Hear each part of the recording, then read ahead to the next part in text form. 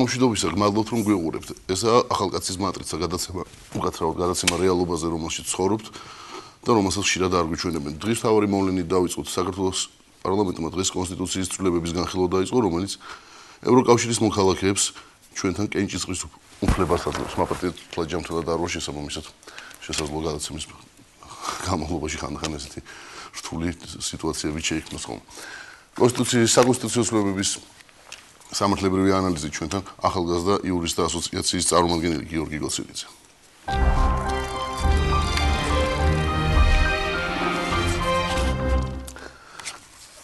გიორგი საღამოშიდობის თქვენ მოგიწევთ ბევრი ლაპარაკი როგორც ხედავთ მე არა არა არა სათანადო მდგომარეობაში ვარ ასე ასე ვთქვა. გიორგი რა რა როდესაც კონსტიტუციაზე საუბრობთ მე არა ვარ კონსტიტუციონალისტი ამ სფეროში ძალიან ნაკლებად ვერკვევი მაგრამ პირველი რაც მოხსენდება ეს არის ხოლმე ჯეფერსონის ფრაზა რომ კონსტიტუცია შეიქმნა იმისთვის რომ ხალხმა შეზღუდოს ხელისუფლების უფლებები ასე ვთქვა და არა იმისთვის რომ პირიქით ხელისუფლება აკონტროლოს მოსახლეობა საქართველოსში ყველაფერი როგორც შენს პირიქითაა კონსტიტუცია არის ხელისუფლების იარაღი იმისთვის რომ რაც უნდა ის გააკეთო. თუ მე მეჩვენებ ეს პირველ რიგში დავიწყებ დღეს პირველი მოსმენით მიღებული კონსტიტუციური ცვლილები ჩვენს ხელთ არსებული ინფორმაციით.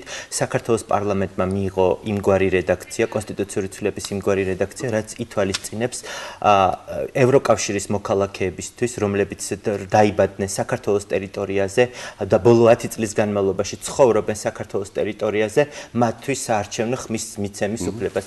საეს პოზიცია ამ აღნიშნულ კონსტიტუციურ ცვლილებებთან დაკავშირებით არის იმგვარი რომ არ შეიძლება კონსტიტუციაში ცვლილება მოერგოს კონკრეტულად ერთ პიროვნებას, ერთ კონკრეტულ შემთხვევას კონსტიტუციის არის მუდმივი დოკუმენტი. არ არ ვარგებთ, გეტყვია რომ არ ვარგებთ ერთ ერთ პიროვნებას. ეს ესე იქნება, ეს ესე უნდა იყოს.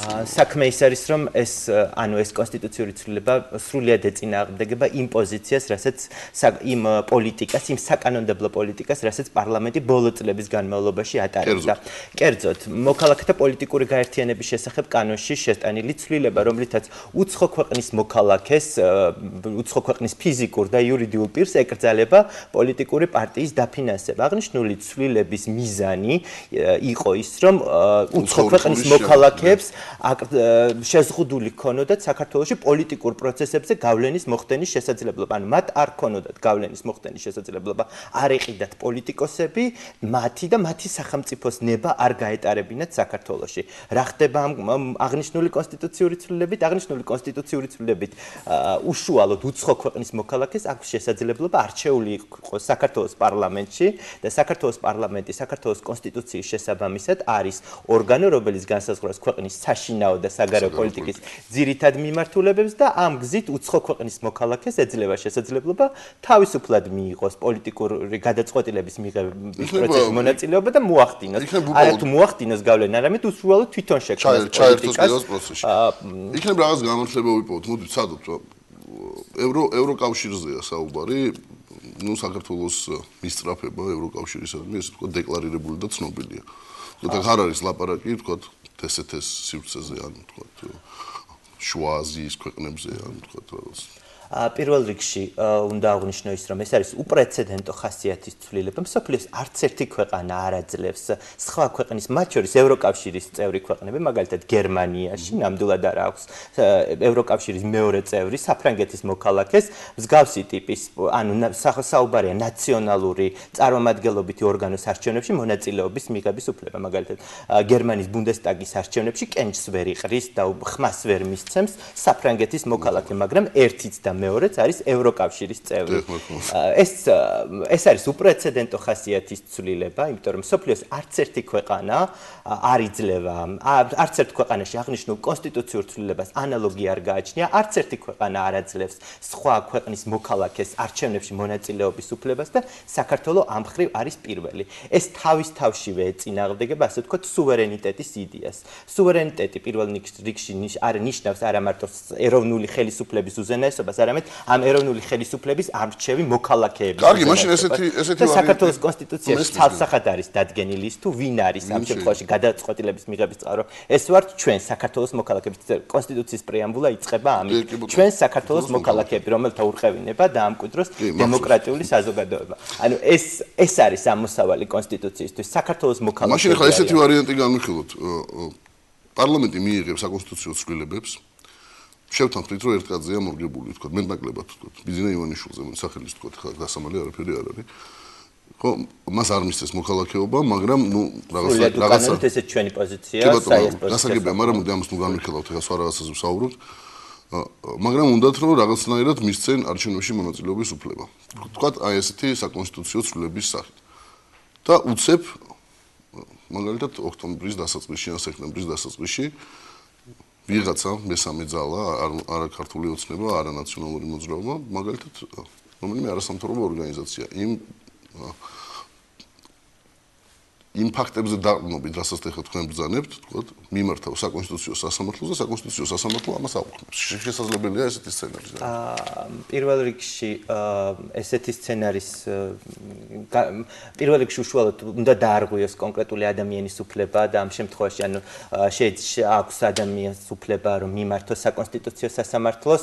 აა გარდა ამისა, გარდამავალდებულებებში შედის ეს ცვლილება, ანუ ეს იქნება გარდამავალდებულება და ჩვეულება არასამთავრობო ორგანიზაცია ორგანიზაციას და ნებისმიერ მოქალ ანუ ფიზიკურ ან იურიდიულ პირს უფლება აქვს საკონსტიტუციო სამართლოში შეიტანოს. სარჩელი თუ კი ესა თუ ის ნორმა ეწინააღმდეგება საქართველოს კონსტიტუციის მეორე თავით აღიარებულ უფლებებს მე რამდენადაც ვიცი ეს ცვლილება შეაქვთ გარდამავალ დებულებებში. ანუ არ არის ასე თქვა მეორე თავში აღნიშნული კონსტიტუციური ცვლილება შეტანილი და შესაბამისად არც ერთ არასამთავრობო ორგანიზაციას და არც ერთ ფიზიკურ პირს არ ექნება შესაძლებლობა იდაოს.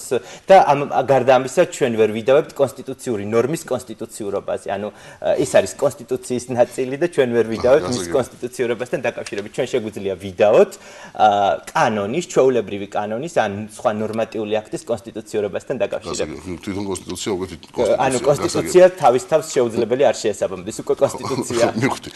კარგი, მაშინ ესეც საკითხი გავიხილოთ. ესეთი მოსაზრებას მოვისმინე, რომ რადგან აძლევს ევროკავშირის მოქალაქეებს კენჭისყრის უფლებას, ანუ არჩევნებში მონაწილეობის უფლებას, გამორიცხული არ არის რომ ეს კანონი ეს ცვლილება მზადდება იმისთვის რომ თქვა საქართველოს გაბნეული ყოფილი მოქალაქეები თქო ევროპაში რომლებიც დიდი ხანია წავიდნენ ქვეყნიდან უკვე ზოგი პორტუგალიის მოქალაქეა ზოგი საბერძნეთის ასე შემდეგ. მათ ხმებზე ნადირობა მიმდინარეობს ახლა. რა თქმა უნდა შეთქმულებების თეორიებზე საუბრობთ მაგრამ აა იცით რა ხდება ბუნდოვანია თვითონ ის კონსტიტუციის ის ჩანაწერი რაც არის მიღებული ეს ანუ კაფიო კითხვაზე პასუხი ეს გულისხმობს თუ არა იმ ადამიანს რომელიც ცხოვრობს საქართველოში საქართველოში ანუ არჩევნების ჩატარების მომენტისათვის იმყოფება თუ არა საქართველოში წერე ბოლო 10 წლის განმავლობაში. მაგრამ არჩევნების ჩატარების momentisaთვის იმყოფება თუ არა საქართველოში აქვს თუ არა თქვა რეგისტრაცია ჩვენ არ ჩატარებულა აღწერა მოსახლეობის ძალიან ბევრი წელია. ბინადრობის ბინადრობის მოწმობაზეა საუბარი ამ ანუ უცხოელი რომელიც შემოდის გარკვეული დროის განმავლობაში ცხოვრობს საქართველოში მის ვალდებულია მას ვალდებულია კონდეს ბინადრობის მოწმობა. ანუ ეს არის ანალოგი იმისა რაც თქვა საქართველოს მოქალაქეებს გვაქვს პირადობის მოწმობა. უცხოელი რომელიც ცხოვრობს საქართველოში მათ უნდა კონდეთ ბინადრობის მოწმობა.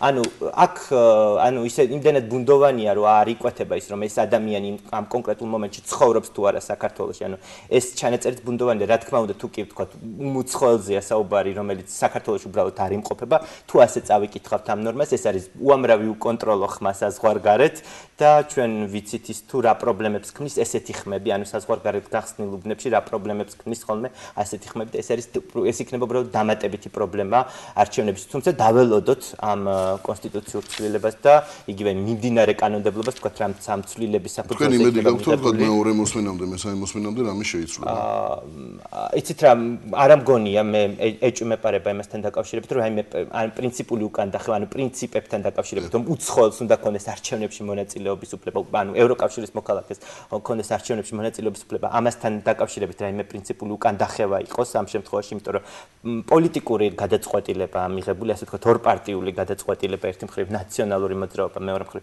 ქრისტიან დემოკრატები, ანუ ამ ორ პარტიას შორის არის კონსენსუსი აღნიშნულ საკითხთან დაკავშირებით მიღწეული და სავარაუდოდ უნდა ველოდოთ, რომ ეს აღარ შეიძლება. ერთადერთი რის რაც შეიძლება შეიცვალოს ამ ბუნდოვანი ერთი პარტიაც ყოფნა ჩვენ პარლამენტში. ბუნდოვანი, ანუ რაღაც ბუნდოვანი დებულებები, რაც და ეს კითხვის ნიშნები, იგივე რაც თქვენ ახსენეთ, რა იგულისხმება თქვა ბოლო 10 წელში იგულისხმობს თუ არა იმას, რომ არჩევნების ჩატარების მომენტისათვის პიროვნება უნდა იმყოფებოდეს საქართველოს, შეიძლება ასეთი სახის დებულებები იქნეს დაზუსტებული, თუმცა ალბათ პრინციპული პრინციპები აღარ შეიცვლება. კარგი, ეხლა მინდა და კიდევ ერთი, ანუ ეს ნორმა, ასე ვთქვათ, ძალადაკარგულად გამოცხადება, ეს არის გარდამავალდებულება და ძალადაკარგულად გამოცხადება 2014 წლის 1 იანვრისთვის, ანუ 2 წლია, ანუ 2 წლის განმავლობაში იმოქმედებს.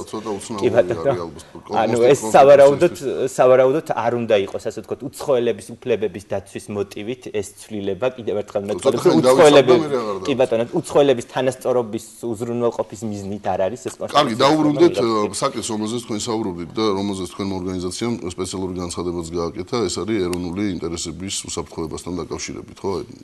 კონკრეტულად რას გულისხმობთ? იცით რა მე მესმის თქვა, რასაც ამბობთ, ის წინა თეორიულად, რომ თქვა უცხოელი, რომელიც შეიძლება გახდეს საქართველოს პარლამენტის წევრი, დაიწყებს რაღაც თავის ინტერესების გატარებას, მაგრამ ცოტა რაღაც მგელი მგელის ამბავი. აა, იცით რა ხდება? აა, წარმოვიდგინოთ შემთხვევა, როდესაც არის საქართველოს მოქალაქე, მაგალითად მე გიორგი ოცირიძე ვარ საქართველოს მოქალაქე, მივიღე საფრანგეთის მოქალაქეობა, შევედი საფრანგეთის შეიარაღებულ ძალებში, პოლიციის ორგანოში, იუსტიციის ორგანოში, სასამართლოში და ჩვენი ორგანული კანონით მოქალაქეობის შესახებ მე ვკარგავ საქართველოს მოქალაქეობას.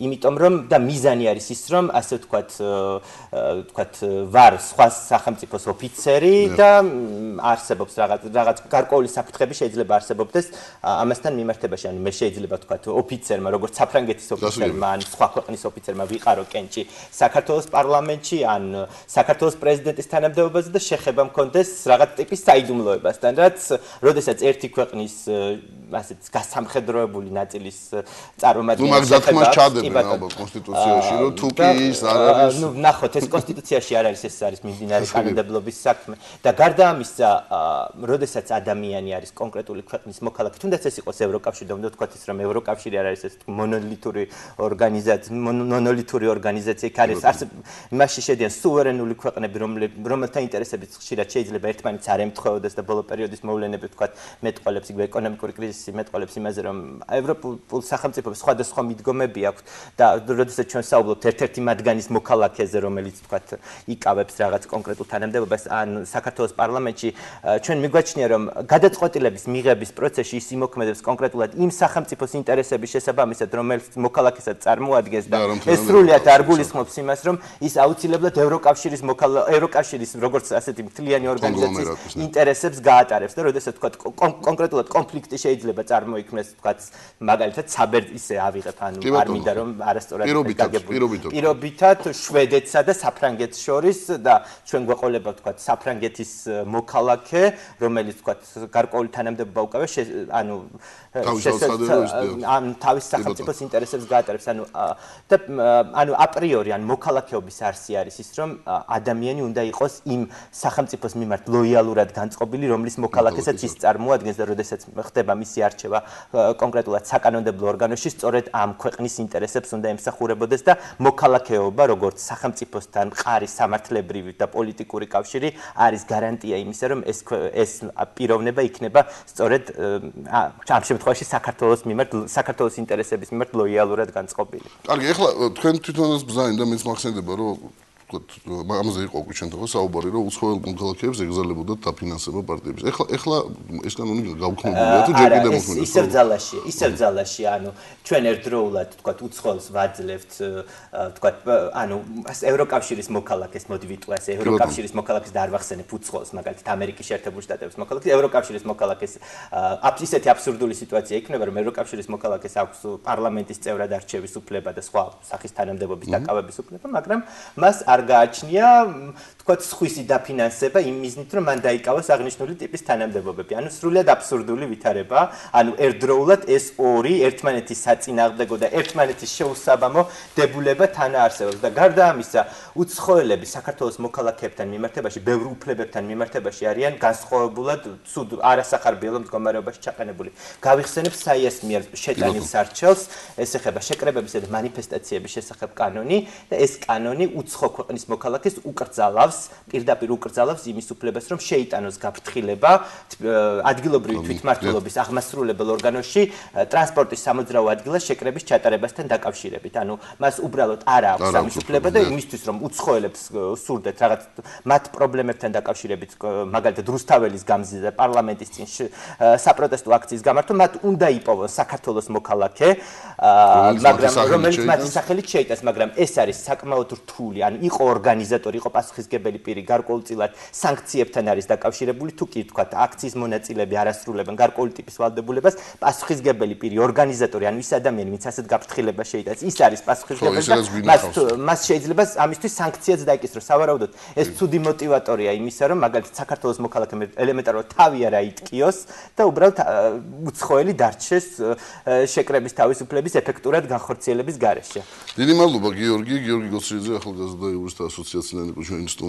დღეს ვთაუბრობდით საკონსტიტუციო ცვლილებებზე. სიმართლე გითხრათ, როგორც არა ადეკვატურად აუგავდი ამ ცვლილების ისე ვისაც წარმოგვიდგენა და ზუსტად ვერ გავიკვირე, მაინც რა რა რა რა იქნება გამოსავალი. ანუ უფრო ყველაზე მარტივი იქნებოდა ალბათ ბიზნე ივანიშვილისთვის უბრალოდ მიეცათ მოქალაქეობა. და უბრალოდ დაიკმაყოფილებინათ ნატურალიზაციასთან დაკავშირებით. არა, მას კენჭი და არაფერი ეს რაღაც განსაკუთრებული ცვლილებები კონსტიტუციაში საჭირო არ იქნებოდა. არის არის ჩვენი აზრით არის აშკარად დაუსაფრთხებელი, იმიტომ რომ პრეზიდენტის ბრძანებულება ციტვალისწინებს იმას, რომ განცხადების განხილვის მომენტში მოქალაქე შეიძლება კონდეს სხვა ქვეყნის მოქალაქეობა და მათ შემდეგ რაც დაკმაყოფილდება ეს მისი განცხადება და მიენიჭება მოქალაქეობა, ის ავტომატურად დაკარგავდა და ამ შემთხვევაში ეს გარემოებები ძალიან ძელი თემაა გიორგი დიდი მადლობა ნებისმიერ შემთხვევაში. გადაცემის მატრიცის შემდეგ ნაწილში თავდაცვის ყოფილი ministri დავით თევზაძე და ახალი ინიციატივა რომელიც თავდაცვის სამინისტრომ გამოთქვა საუბარია იმაზე რომ ავღანეთში საქართველოს ყველა სამხედრო ნებაყოფი ადრეთ ნებაყოფლობით მიდიოდა ახლა ისინი ვალდებულნი იქნებიან ავღანეთის ოპერაციაში მიიღო მონაწილეობა რეკლამის შემდეგ ორ წუთში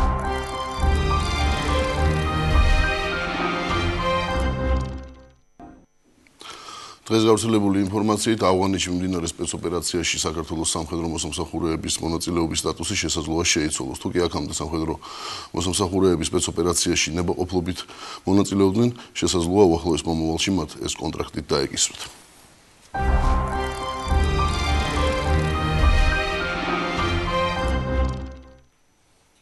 ბატონი დავით თევზაძე თავდაცვის ყოფილი ministri ჩვენთან სტუდიაში მოგესალმებით ბატონ დავით დიდი მადლობა მოგზანებისთვის მოგესალმებით. ეს ინფორმაცია რამდენად სარწმუნოდ მიგაჩნიათ რომ ეს შეიძლება მოხდეს?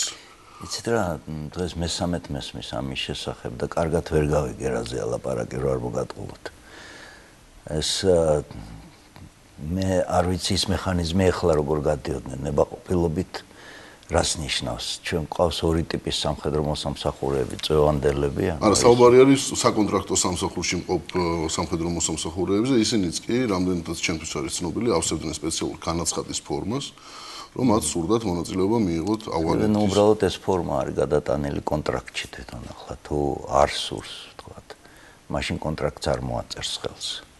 ახლა კონტრაქტით როცა შედის სამხედრო სამსახურში, ის იღებს ვალდებულებას, რომ შეასრულებს იმ მისიას, რომლისთვისაც იქნება მოსული. ნებისმიერ ბრძანება ბრძანებაა, ხო ეს? ბრძანების გარდა კონტრაქტი ითვალისწინებს ზუსტად ამას.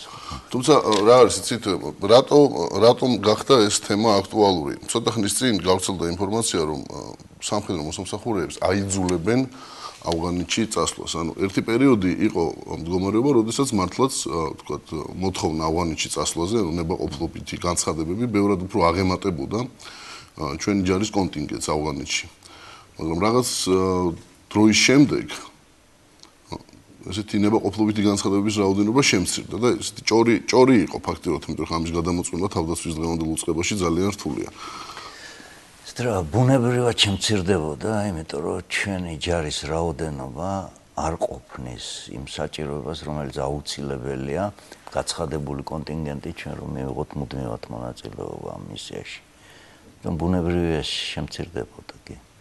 თუმცა არის ესეთი მოსაზრებაც, რომ იმასთან დაკავშირებით ვთქვათ, ნატოს სხვა წევრ ქვეყნებს უკვე გამოყავთ თავიანთი კონტინგენტი, ნაწილობრივ მაინც. ქართველებს სულ უფრო და უფრო რთული მისიები ეკისრებათ, ანუ თუ თავიდან შედარებით უფრო უკეთეს პირობებში იყვნენ, ახლა ისინი ყველაზე ვთქვათ, ჰელმანდის პროვინციაში ყველაზე რთულ უბანზე მუშაობენ. შეიძლება ამანაც გამოიწვია, ვთქვათ, სხერფლიც გაიზარდა. შეიძლება ამან იმოქმედა ძნელია ესე ვარაუდით ლაპარაკი ხო საქმე იმაშია ნატო რო გამოამთლიანად ეს ნავარაუდებია სადაც 2014 წელს ამერიკელებისთვის მაგალითად ხო. აა როგორც ჩანს ჩვენებიც შეწყვეტენ ამ მისიას უბრალოდ მისია შეწყვეტება ზე რომ დროში ჩვენ რამდენიც არ უნდა თქვათ აა გამოვიჩინოთ ინიციატივა ამ ხრებ ზუსტად რამდენიმე ხნის წინ ობამამ ზუსტად დაასახელა. მე წავიდე წელი და პრინციპში გამოსვლა საერთოდ დასათაურებული იყო თეთრი სახლის ვებგვერდზე რომ ომი ავღანეთში დასრულებულია. ეს ომას ამერიკა თulis რომ ომი დასრულებულია. ამერიკა თulis რომ ომი დასრულებულია მთელი ნატო და მთელი ეს აა კოალიცია რომელიც აი ამ მისიისთვის შეიკრა ამერიკისთვის ხარი რომ დაეჭირათ იმათვისაც დასრულებული იქნება მაგრამ ზუსტად ამ ფონზე, როდესაც თქვა ამერიკა აცხადებს ობამა, რომ ომი დასრულებულია, თქვა საფრანგეთის პრეზიდენტის ერთ-ერთი ახალდარჩეული პრეზიდენტის ერთ-ერთი წინასაარჩევნო ასე თქვა პუნქტი იყო, რომ ის გამოიყვანს ჯარებს, საქართველოს ზრდის თავის კონტინგენტს. რამდენად ლოგიკურია ეს, იცით, სიმართლე გითხრათ, მე როდესაც საკუთარი აზრი ამ თემაზე ვერ ვერ შევიქმნი, იმიტომ რომ ბევრ ადამიანთან მისაუბრია, თქვა სამხედროებთანაც, პოლიტოლოგებთანაც და ყველას რაღაც თავისი არგუმენტები აქვს. ამიტომ ვერაფრით ვერ მივხვდი თქვა. ზოგადად როგორ არის, იცით? ჯარის ამოქმედება, ანუ გამოყენება მის მისიებში ძირითადად არის ნაკარნახები პოლიტიკური мотиваციებით. თუ პოლიტიკური ელიტა ქვეყნის თulis რომ მისი ქვეყნის სასიცოცხლო ინტერესებშია. ის მიდის ამ ნაბიჯზე.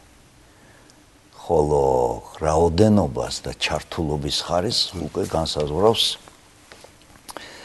ის ვითარება, რომელიც კონკრეტულად თეატრზე იქმნება ხოლმე. ჩაოლებრივ ფიქრობენ, რომ აა აა თუ ჩართავ სამხედრო ძალებს, ისინი საკმარისი უნდა იყოს უეჭველი გამარჯვებისათვის. როდესაც ამის საშუალება არ არის, ცდილობენ რომ ან მიზანი გადაასხვანაირონ, ან და საერთოდ ჯარები არ გამოიყენონ. ვა ჩვენთვის რაც არის გაცხადებული ყოველ შემთხვევაში გარედან რაც ლაპარაკით ჩანს რომ რატომ ვართ იქა ველოდები დივიდენდებს თქვა ერთ-ერთ ორგანიზაციაში გაწევრიანებას. ნუ ნატოსთან ურთიერთობის თვალსაზრისით. ხო, ნუ საქმე იმაშია რომ იყო ასეთი პერიოდი ნატოს ისტორიაში, როდესაც ის მიდიოდა ამ ნაბიჯზე, როცა იღებდა ქვეყნებს ამ ნიშნით მაგალითისთვის შემიძლია მოვიყვანო რუმინეთის მაგალითი. მაშინ მქონდა პირადი ურთიერთობა ჩემ კოლეგასთან რუმინეთში არაჩვეულებრივი ესეთი საზრიანი კაცი გახლდათ ministri პაშკუ. და ის ასეთი ლოგიკით ლაპარაკობდა რომ ნატო არის სამხედრო პოლიტიკური ორგანიზაცია ანუ სამხედროს უსვამდა ხალხს ამიტომ ნებისმიერი ქვეყანა რომელიც მას აჩვენებს თავის სამხედრო სარგებლიანობას მას მეტი შანსი აქვს რომ გახდეს ნატოს წევრი და რუმინეთის მაგალითი თითქოს ამას ხარს უჭერდა თვითონ. მაგრამ დრო მიდის და იცვლება როგორც პოლიტიკური ვითარება, ასევე ბევრი ნიუანსი და აა მე ვფიქრობ, რომ ახლა ზუსტად ის პერიოდია, როცა სამხედრო პოლიტიკური კი არა, პოლიტიკურ სამხედრო გაერთიანება, ანუ ჩართულობის აი ეს ინტენსივობა, თქვა შეიძლება მართლაც ჭარბი იყოს. იცი ჩვენ დავთვალეთ, ის პატარა არ არის რთული ამის გამოთვლა, ხო? ცნობილია თქვა ქვეყნების მოსახლეობა, ცნობილია თქვა მათ შეარაღებული ძალების რაოდენობა დაახლოებით მეტნაკლებად. და გამოდის რომ დღეისათვის საქართველოს ყველაზე დიდი კონტინგენტი ყავს ავღანეთში, ნატოს ყველა ქვეყანას შორის. ანუ ეს ერთსულ მოსახლეზე გათვლითაც და თქვა შეარაღებული ძალების საპროცენტო ნაწილსაც თუ ავიღებთ ასე. მათ ყველაზე ცუდი მომენტი არის ორი. პირველი, რაც უფრო ხანგრძლივი ოპერაცია, მით აა უფრო კარგავს ის პოპულარობას ადამიანების თვალში და მათ შორის იმათ თვალში, ვისაც მიაჩნდა რომ ეს შეიძლება პოლიტიკური დივიდენდის მომტანი იყოს. მეორე ის რომ ჩვენ არ აქვს იმ რაოდენობის ჯარი, რომელიც ამ კონტინგენტს უზრუნველყოფს მუდმივად. ანუ თქვათ ეს რომ გაგრძელდეს 2014 წლის შემდეგ, მე ვერ წარმომიდგენია როგორ შეიძლება ამ შენაცვლებების გაკეთება. ძალიან რთული იქნება. მაშინ უნდა გაიზარდოს სამხედროთა რაოდენობა საკუთრივ საქართველოში ხო და სამეს მხრივ რა თქმა უნდა ესეც უბრალოდ რაც მეტია ჩართულობა მსხვერპლი თან.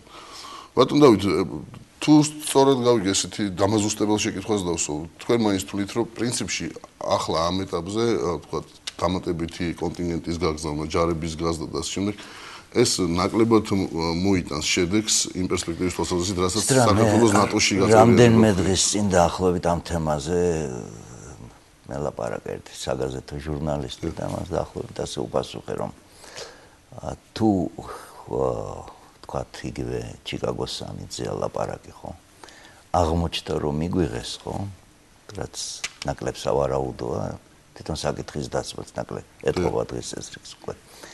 აა ეს არ იქნება იმის გამო რომ ჩვენ ამდენი ხალხი გვყავს ავღანეთში თუ არ მოხდა ასე ამ საკითხის დაყენება არა მარტო ჩიკაგოს სამიძე არამედ თქვა მონდენოზეც ეს არ იქნება იმის გამო რომ სტანდარტს არ ვაკმაყოფილებთ. საქმე იმაშია რომ ალიანსი ალიანსს აქვს თავისი ლოგიკა და მასაც აქვს თავისი საგარეო ხედვები და საგარეო ინტერესები რომელიც ბევრად ჭარბობს ერთი ქვეყნის ინტერესზე. ამიტომ პოლიტიკურ კონიუნქტურაზეა დამოკიდებული და არ ამგონია დღეს თქვა ალიანსმა ღიად გადადგას ის ნაბიჯი, როგორადაც ძლიერად არ უნდა გრძნობდეს თავს, რომელიც მას პირდაპირ კონფრონტაციაში შეიყვანდა რუსეთთან.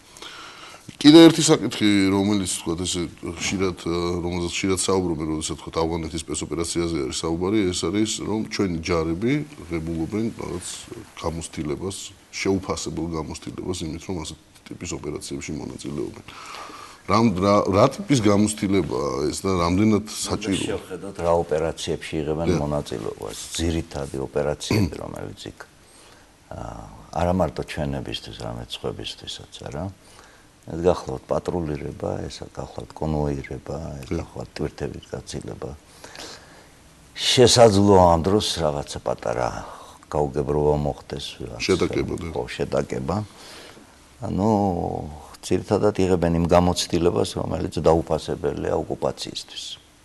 ოკუპაციის რეჟიმია რეალურად ყველაფერს თავის სახელი დავარქვა და ბუნებრივია ის გაგრძელდება მანამ, სანამ ეს ჯარები არ გავლენ გარეთ. ხლა ერახში ცოტა სხვანაირად იყო საქმე. იქ სტაბილიზაციის ოპერაციაში იღებდნენ, იქ სხვა ტიპის ამოცანები ჰქონდათ მათ, პლუს განაღმაზე მუშაობდნენ. განსხვავებული იყო კოსოვოს გამოცდილება, იქ წმინდა სამშვიდობო ოპერაცია იყო, მაგრამ იქაც გამოცდილებას იღებდნენ სამშვიდობო ოპერაციის მსვლელობის, მაგრამ თვითონ სამშვიდობო ოპერაციების სპექტრია სხვადასხვა. გასაგები. ანუ გაიზარდა ეგ სპექტრი, დოქტრინები სხვადასხვა და ვთქვათ, საბრძოლო გამოცდილებას არ იღებენ. აი რამ რამდენად ადეკვატურია ის გამოსtildeება თქვა ქართული არმიისთვის? გააჩნია არმიას რა ამოცანას დაუსვა. ნუ თუ არმიის ამოცანა იქნება რომ ემსახუროს სხვადასხვა ალიანსებს, სხვადასხვა დედამიწის სხვადასხვა წერტილს. ეს მე არ ვამბობ რომ ცუდი ამოცანა, ეს შეიძლება იყოს ერთ-ერთი ამოცანა ეს. ხო. მაშინ ბუნებრივია ეს კარგი გამოცდილებაა და ვთქვა ჩვენი შეერაღებული ძალები გახდებიან ასე ვთქვა პროფები აი ამ იმაში. თუ ჩვენ ამოცანად დავისვამთ იმას რომ უნდა დავიცვათ რაღაც სოფელი ან რაღაც ქალაქი აქ ჩვენ ტერიტორიის შიგნით, მაშინ ეს გამოცდილება ნაკლებს ავარაუდავ რა გამოდგეს. მას სხვა სპეციფიკა ჭირდება, სხვა წვრა ჭირდება და სხვა გეოგრაფიაზე მიბმული დოქტრინა ჭირდება. გასაგებია, დიდი მადლობა. ცოტა პესიმისტურად გამოგვივიდა, მაგრამ ნუ ასეთი იყო თქვენი ანალიზი. ბატონი დავით ევზაძე, თავდაცვის ყოფილი მინისტრი იყო ჩვენი სტუმარი.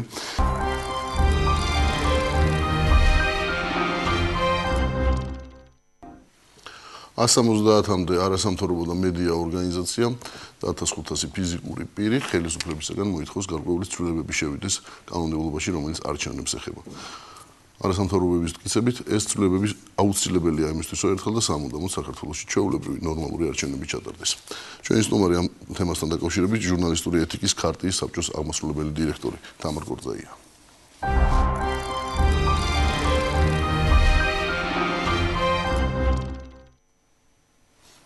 თამ ძალიან ბევრი ცვლილება გადავხედი ძალიან დიდი სია ამაზე სასაუბრო დრო ნამდვილად არ გვეყოფა. ყველაზე მნიშვნელოვანი თქვენი აზრით რა არის აუცილებელი, რომელიც პირველ რიგში უნდა განხორციელდეს? მოგესალმებით. დიდი მადლობა მოწვევისთვის და ამ თემაზე საუბრისათვის. უბრალოდ ვერ გამოვყოფთ, იმიტომ რომ ეს პაკეტი იმიტომ არის დიდი, რომ რომელიმე საკითხის ამოგდება გამოიწვევს იმას, რომ სრულყოფილი გარემო სათანადო არჩევნების ჩატარებისათვის არ იქნება უზრუნველყოფილი. ახლა რა მაქვს ხედულობაში? მთელი პაკეტის მიზანი, რამ გააერთიანა ეს ხალხი, ვინც ეს ინიციატივა ეს ეს წინადადება შეიმუშავა იმან რომ ამომრჩევლის ინტერესებზე ორიენტირებული ინიციატივა სრულად ყველა ცვლილება რაც არის შეთავაზებული ემსახურება იმას რომ ამომრჩეველის სურვილი ამომრჩეველის მიერ საარჩევნო ყუთთან გამოხატული ნება იყოს დაცული და გარდა ამისა სანამ ამომრჩეველი მივა ამ საარჩევნო ყუთამდე მას კონდეს ინფორმირებული არჩევანის გაკეთების შესაძლებლობა სწორედ ამიტომ არის ეს პაკეტი, რომ ითვალისწინებს როგორც საარჩევნო კოდექსში ცვლილებებს, ისე მაგალითად მაუწყებლობის შესახებ კანონში ცვლილებებს, ზოგადად ადმინისტრაციულ კოდექსში და ასე შემდეგ. ანუ მაუწყებლობაზე დავიწყოთ საუბარი რადგან ტელევიზიაში. კი ბატონო. ესე იგი, ერთ-ერთი მთავარი რაც არის ამ ინიციატივის, ეს არის ის, რომ აა სავალდებულო ტრანზიტის წესებს ადგენს მაუწყებლობის შესახებ კანონში შესატანი ცვლილებები. ეხლა ეს რას ნიშნავს გეტყვით? ძალიან მარტივად რო ვთქვათ, დღეს საკაბელო ოპერატორები არ არიან ვალდებული თავის ასე ვთქვათ მომსახურების პაკეტში ჩასვან ყველა ვთქვათ საერთო ლიცენზიის მქონე მაუწყებელი. ეს იწვევს იმას, რომ ვთქვათ პოლიტიკური გადაწყვეტილების მიღების შემთხვევაში შეიძლება საკაბელო ოპერატორებმა აა თქვის პაკეტიდან ამოიღონ ისეთი არხები, რომლებიც არის ყურებადი მოსახლეობის და მოსახლეობის ინტერესს წარმოადგენს მისი ყურება. მეორე არის შემთხვევა, როდესაც ისეთი ტელეკომპანიები, რომლებსაც მძლავრად მომძლავრებული არიან საკმაოდ ძლიერი არიან სატელევიზიო ბაზარზე, ისინი თვითნებურად უწყვეტენ საკაბელო ოპერატორებს ხელშეკრულებას და გადადიან სხვა. ნუ პირდაპირ თქვა, უფრო უფრო მარტივად ეს არის თქვა, ერთ პირველი შემთხვევა არის მაესტროს შემთხვევა სიუჟეტთან დაკავშირებით. ანუ რო თეორიაში რო წავიდე და მეორე შემთხვევა არის თქვა გლობალ ტელევიზიასთან დაკავშირებით რუსთავის და იმედის საზოგადოებრივი მაუწყებლის შემთხვევები. ეხლა რატომ უნდა მოგვარდეს ეს დღეს საქართველოს პირველ ლაპარაკობ იგივე მეცხრე არხის პრობლემა, რომელიც მიმართავს მაგალითად სუპერ ტივი, სილქნეს და ასე შემდეგ და არავინ არ თავს მასკს ხელში. რატომ არის ამის აუცილებლობა? იმიტომ რომ საარჩევნო არჩევნებში რომ მოქალაქე და საერთოდ ამორჩეველი მივიდეს, მას უნდა კონდეს ინფორმირებული არჩევნის არჩევნების გაკეთების შესაძლებლობა. ასე ამბობ. ყველა ლაპარაკობს საქართველოსში, რომ ჩვენთან მედია არის პოლარიზებული. მინიმუმ სახელმწიფო მის მაინც უნდა უზრუნველყოს, რომ საქართველოს მოსახლეობის 90%-ს, რომელიც მაგალითად უყურებს რუსთავი ორს იმედს და ასე შემდეგ, სამძირითად არხს, მინიმუმ განსხვავებული პოლარიზებული აზრი მაინც უნდა ჰქონდეს. რასაც ვერ აწესრიგებს დღეს არსებული კანონი. ხო, რა რაღაც ბიზნეს ბიზნესზე გავლენის მოხდენას ჩემია. ეს ძალიან სერიოზული. სიუჟეტი ჩემია, მინდა ჩავრთავ, მინდა არ ჩავრთავ.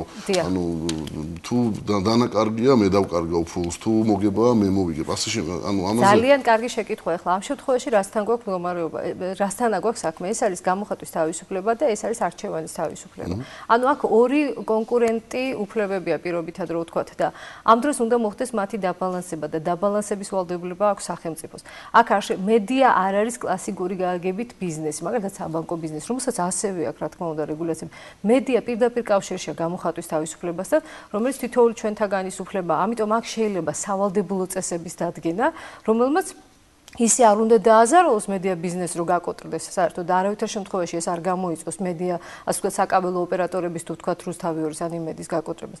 ნამდვილად ეს აბსურდია. არა არ გამოიწვოს ეს არ გამოიწვოს გაკოტრებას მაგრამ სამაგერო დაიცავს ამურჩევლის უფლებას მიიღოს სრულყოფილი ინფორმაცია არსებული გარემოს შესახებ თუმცა ეს არის ერთი ნაწილი ამაზე მახსენდება მარეგულირებელი კომისიის განცხადება რომ მათ აქვთ ორი სიხშირე მაგრამ გამოკითხვა მაჩვენა რომ ჩვენ გვინდა გასართობი არხები თუ გააკეთებ გასართობ ფაქტს მაშინ არა ეს არჩევნების დროს ეს ხო ეს საარჩევნო ცოტა ისეთი არასერიოზული გასაჩევლობა წინა საარჩევნო პერიოდში, იმიტომ რომ ამ ამოსამბრო ბიზნესზე გავლენა ამ განცხადებაში ბევრად უფრო იზრდება. იმიტომ რომ პლურალიზმის ხელშეკრულება არის სასწაულო მნიშვნელოვანი საკითხი წინა საარჩევნო პერიოდში. თუმცა ეს პაკეტი რა თქმა უნდა მხოლოდ ამას არის თვალისწინებს. აქ არის მედიასთან დაკავშირებული მნიშვნელოვანი რეგულაციები. მაგალითად, დაცულია რეგიონული მაუწყებლების ინტერესები, როდესაც მათ ისინი თუ გაუშვებდნენ წინა წინა უკანასკნელი არჩევნების დროს რეგიონულმა მაუწყებლებმა საერთოდ არ გაუშვეს პოლიტიკური რეკლამები. რატომ არ გაუშვეს, ახლა გეტყვით. იმიტომ რომ უფასო პოლიტიკური რეკლამის გაშვების შემთხვევაში მათ ექნებათ ვალდებულება გაუშვან ფასიანი პოლიტიკური რეკლამას. ამან რა გამოიწვია უფასო პოლიტიკური რეკლამა მათ რომ გაუშვეს, რეგიონულ მაუწყებლებში არ მივიდა სათანადო რაოდენობის ფასი. ისინი მუშაობდნენ აბსოლუტურად წაგებაზე. ამიტომაც ჩვენი ინიციატივა ითვალისწინებს რაღაც ესე ვთქვათ ბალანსს ამ ყველაფერს შორის. მეორე პრობლემა იყო, როდესაც წინა საარჩევნო პერიოდში ა ფასიანი პოლიტიკური რეკლამის ფასი კოლოსალურად იზრდებოდა და ყველა პოლიტიკურ პარტიას არ ჰქონდა შესაძლებლობა რომ წაეღო თქო ფასიანი პოლიტიკური რეკლამა ისეთ არხებზე რომლებიც საქართველოს 90 მოსახლეობის 90%-ს ფარავს.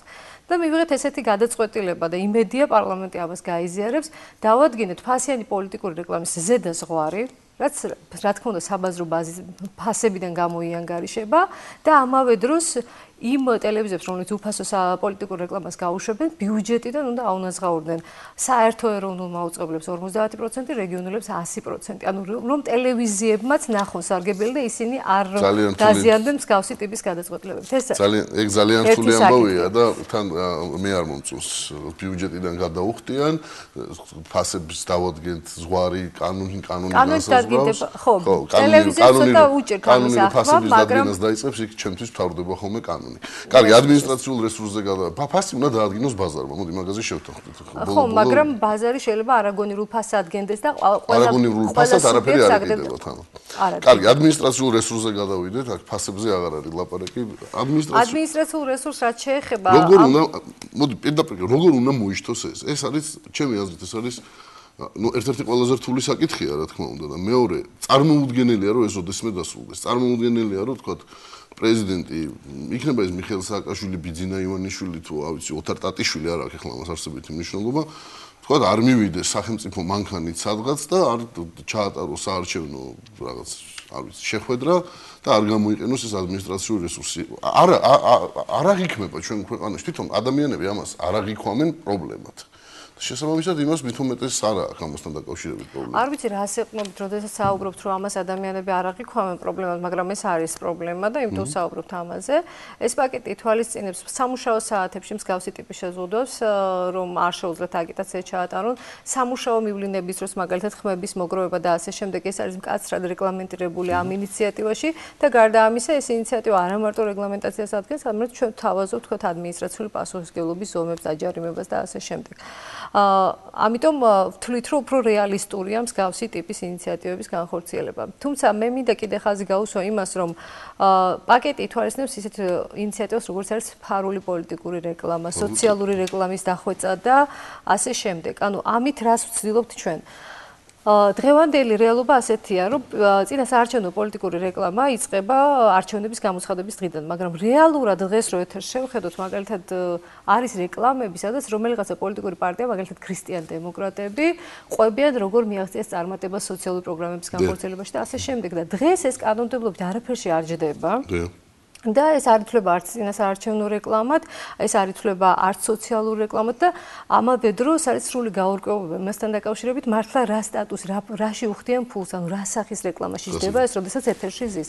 ხა ჩვენ ინიციატივა ითვალისწინებს ესეთ რამს, რომ კაცრად და მკაფიოდ ჩამოყალიბდება სოციალური რეკლამის ცნება და ვთქვათ ესეთ რეკლამა ვერავითარ შემთხვევაში ვერ გავა სოციალურ რეკლამაში და ეს პროცესი მე პოლიტიკ და შეიძლება ეს ჩაითვალოს ფარულ პოლიტიკურ რეკლამად და ამავე დროს გადმოვწიეთ ამ პოლიტიკურ რეკლამას რეკლამის, ფასიანი პოლიტიკური რეკლამის განთავსების დრო და ეს გათვალისწინებული მაგალითად იმ საარჩევნო წელს 1 ივნისიდან, რომ თქო პოლიტიკური პარტიები არ იყვნენ შეზღუდული ამ თავიანთ, ასე ვთქვათ, ინტერესების ლობირებაში, რაც სავსებით ბუნებრივია და არ უნდა იწოდეს პრობლემას.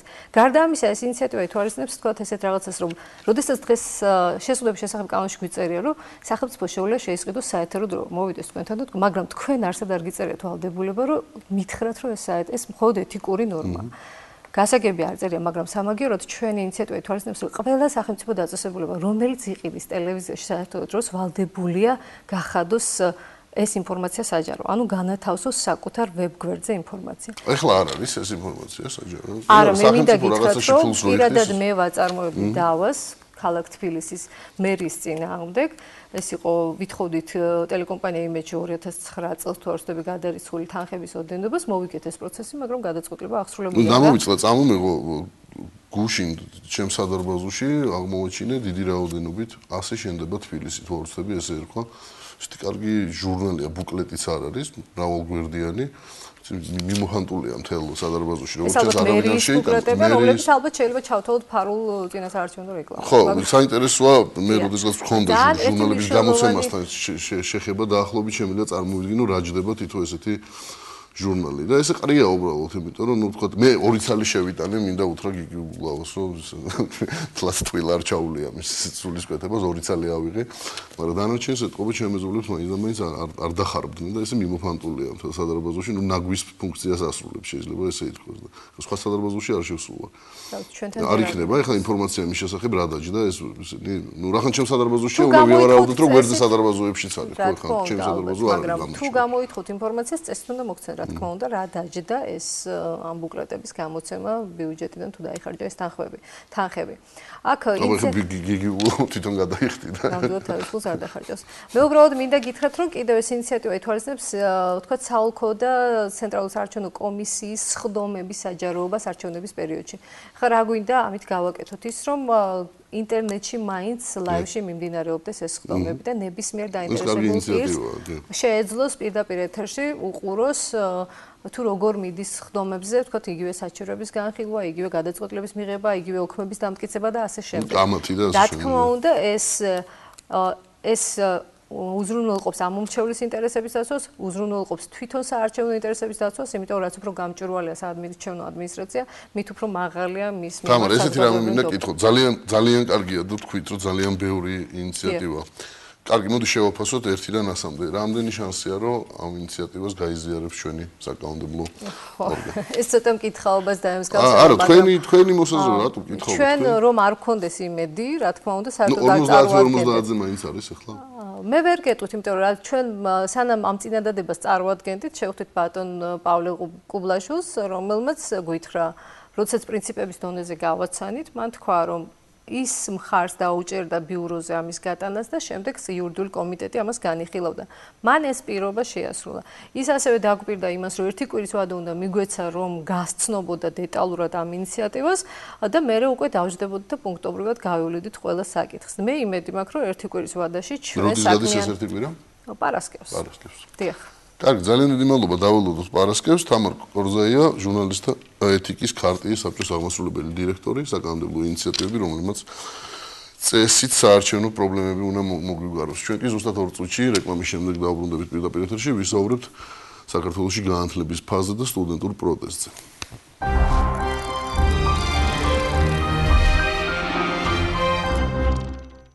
10000 სტუდენტი, რომელსაც სწავლების საფასურის გადაუხდელობის გამო სტუდენტის სტატუსი შეუჩერდა. საქართველოში დღეს, როგორც აღმოჩნდა, ყველაზე ძვირი სწავლა განათლება არის. შედარებისთვის, თქვათ, იგივე აა უკრაინაში დაახლოებით იმის ნახევარი ის უმაღლესი სწავლება, რაც საქართველოში. ამ თემასთან დაკავშირებით სტუდენტები უკვე რამდენიმე თვეა საპროტესტო აქციებს აწყობენ. ორ მათგანს დღევანდელ ჩვენს ეთერში შევხვდებით.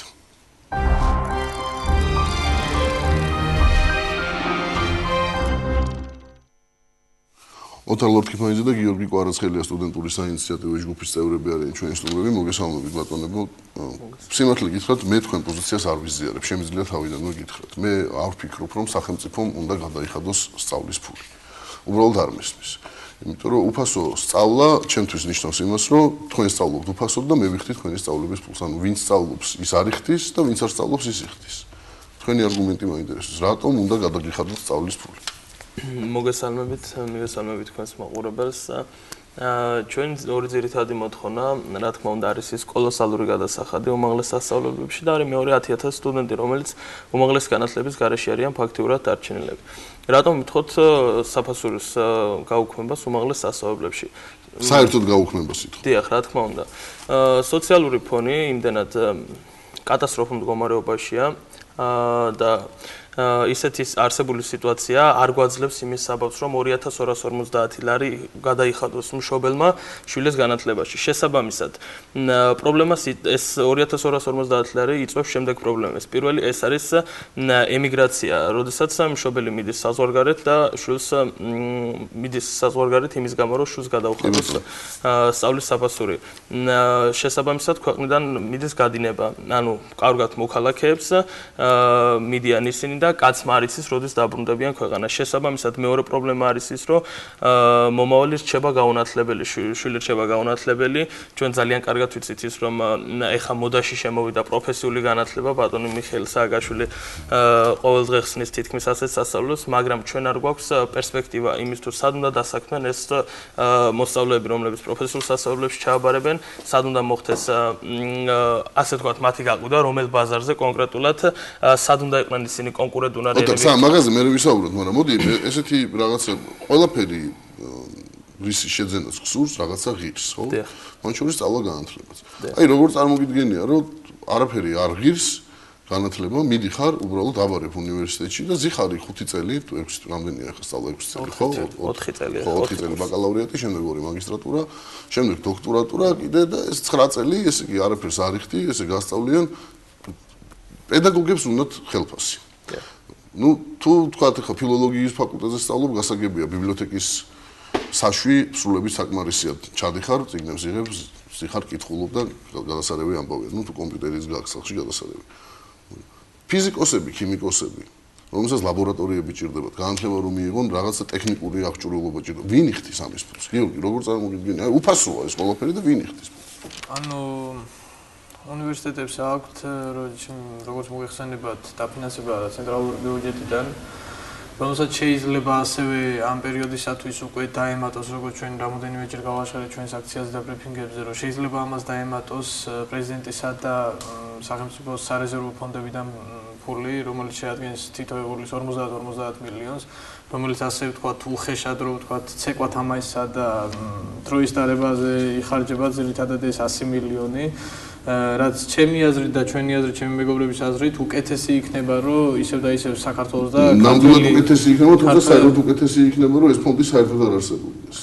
რახან არსებობს რაც გვაქვს იმიდან იქიდან გამომდინარე გეუბნებით მე რომ უკეთესი იქნება რომ ეს მოდი ასე ვთქვათ ინვესტიცია დავარქვათ ქართულ ახალგაზრდობაში. ჩაიდოს ეს 100 მილიონიანი ინვესტიცია ყოველწლიურად რომელიც დაეხმარება ჩემნაირს ოთარისნაირ და ჩვენნაირ ათასობით სტუდენტს რომ მიიღოს სწავლა განათლება ამასთან დაკავშირებით ჩვენ მქონდა ბატონ დიმიტრი შაშკინთან შეხვედრა.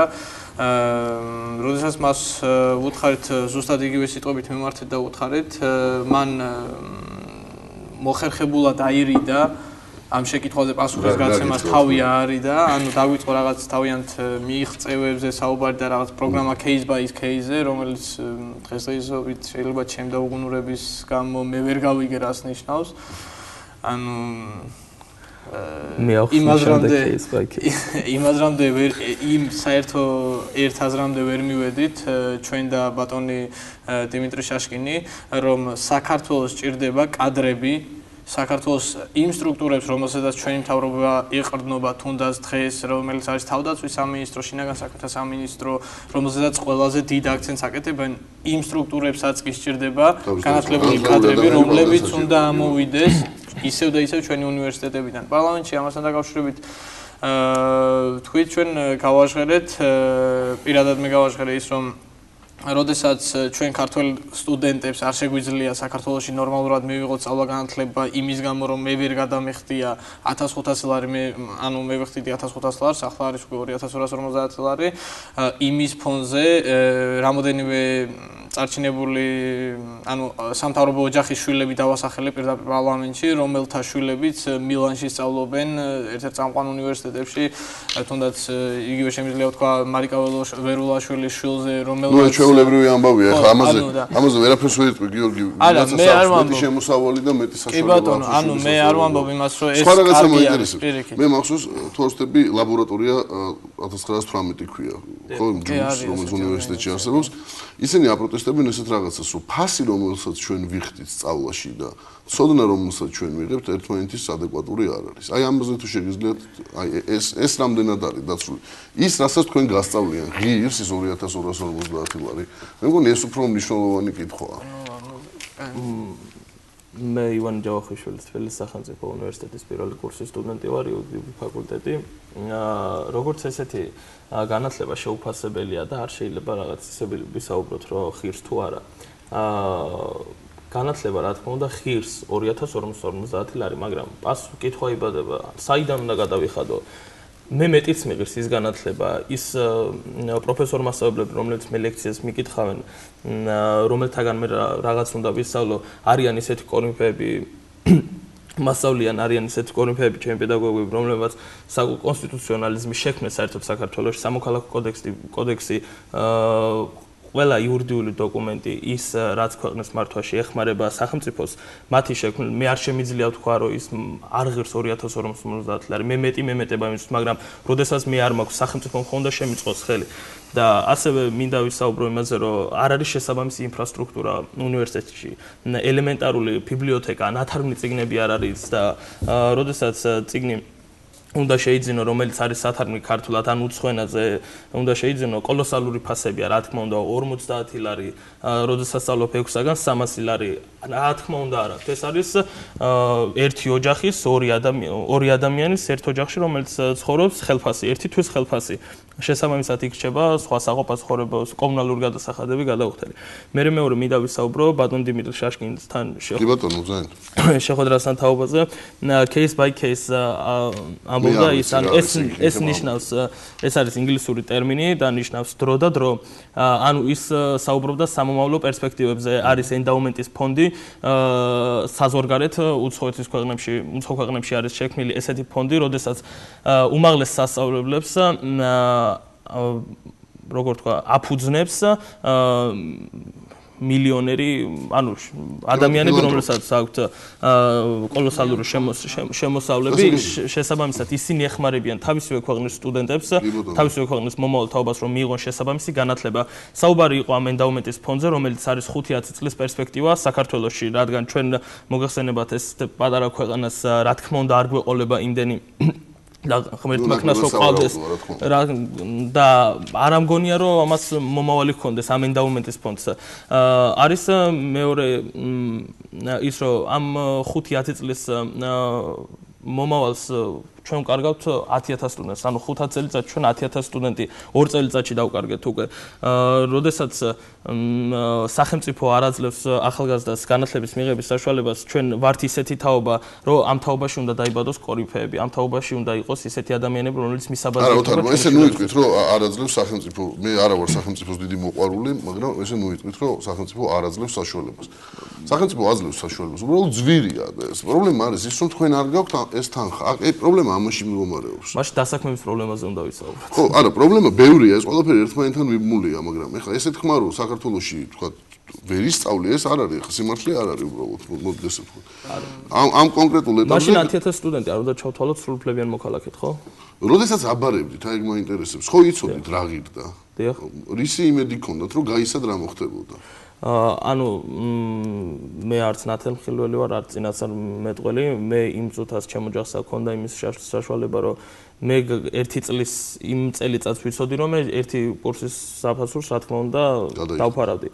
მაგრამ რა ქნას იმ ოჯახის წევრებმა სიტყვაზე ვთქვათ, რომელიც სახელმწიფო სტრუქტურებში იყვნენ დასაქმებული და ბატონი ბიზინა ივანიშვილის სიტყვაზე ვამბობ, ან სხვა ვინმე პოლიტიკური პირის მოღვაწის გამოჩენის შემდეგ გადავიდა მის მხარეს, ანუ მოეწონა მისი არჩეული პოლიტიკური კურსი, მისი საარჩევნო პროგრამა გადავიდა მის მხარეს შესაბამისად, როგორც ჩვენია ასე. არა, ეს ეს სხვა პროგრამა. ანუ არსებობს ისეთი მოვლენები, ისეთი ანუ ცხოვრება არის ეს ხო, ჩვეულებრივი ადამიანები ვართ, არავინ არ ვართ მოკლავები ადამიანები, არავინ არ ვართ სამსახურში უბადოთ დანიშნულები, შესაბამისად შეიძლება ყველა ჯვარი წერია, შეიძლება ვიღაცა მშობელი ცუდად გაუხდა, აშრომის უნარიანი ვეღარ გახდა და შესაბამისად მას განათლების საშუალების მიღება აღარ შეუძლია. ანუ აქ საუბარი არის სტუდენტური კრედიტები რაღაცა ხო? ეს სტუდენტური კრედიტები არის სესხი უბრალოდ, როგორც ჩვეულებრივ ყველა იურიდიული პირი ღებულობს ბანკიდან სესხს, არის იგივე პროცენტით, რა თქმა უნდა.